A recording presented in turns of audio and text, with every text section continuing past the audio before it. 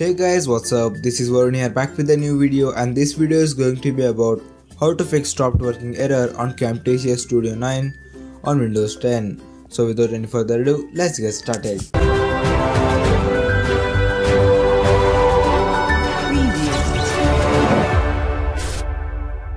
Okay, before getting started, if you haven't subscribed to our channel already, then hit that red subscribe button right now because you will love the content on our channel and hit that bell button to get notified whenever I upload a video. So a lot of starter YouTubers use Camtasia Studio for editing videos.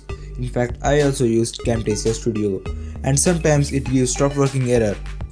And if you play some footages rendered in After Effects on Camtasia Studio, we can see some lags.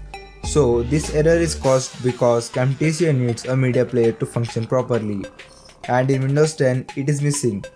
So to fix this, we need to manually install the media player onto the Camtasia Studio 9.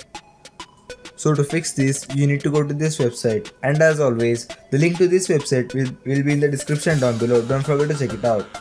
Once you get there, just click on download and select these packages and hit on next.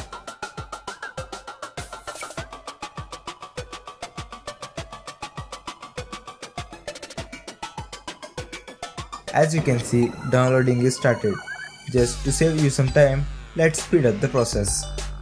Once the downloading has been completed, just install them one by one, as shown in the video.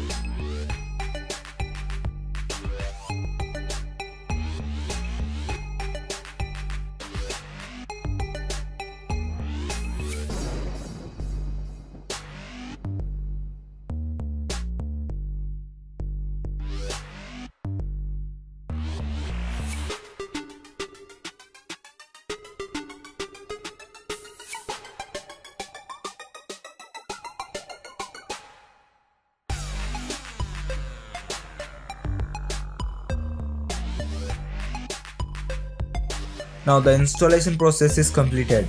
Let's open up the Camtasia Studio 9 and let's see if it works or not.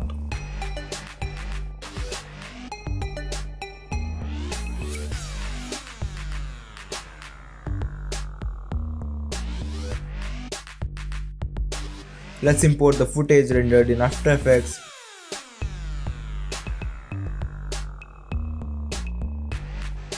and as you can see, it is working perfectly fine.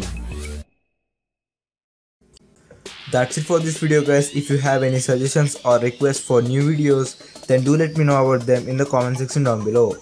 And as always, if you like this video then don't forget to give this video a huge thumbs up and I will see you in my next video.